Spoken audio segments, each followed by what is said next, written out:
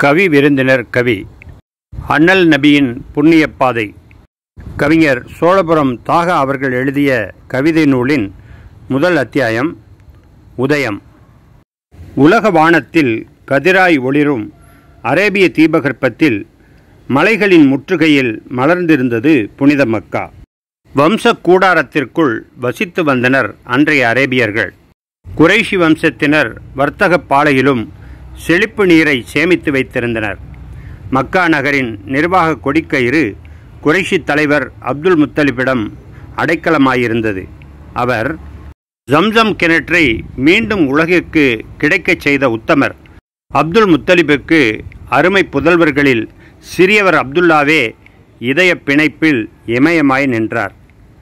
வாலிபம் குடியேறிய அப்துல்லாவிற்கு ஜுகைரா குலத்து அழகு மலர் ஆமினாவை மருமகளாக தேர்ந்தெடுத்தார் மதிப்புயர் அப்துல் முத்தலிப்.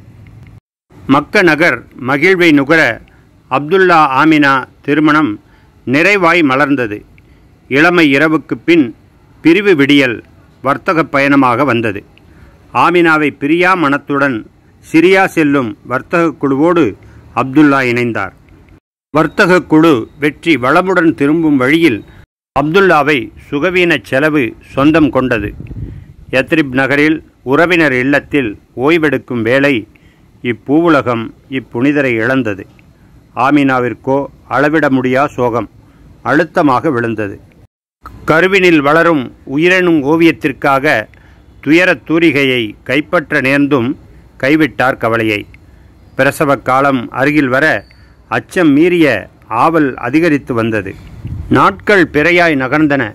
நிறையழகு முழு நிலவாய் பெருமித ஆண்மகவு பேரருட்சுடருடன் ஆமினாவின் மணிவயிற்றில் அவனி சிறக்க பிறந்தது. முகம்மது எனும் முத்துப்பெயரை அகங்குளிர சூட்டினார் அன்னை ஆமினா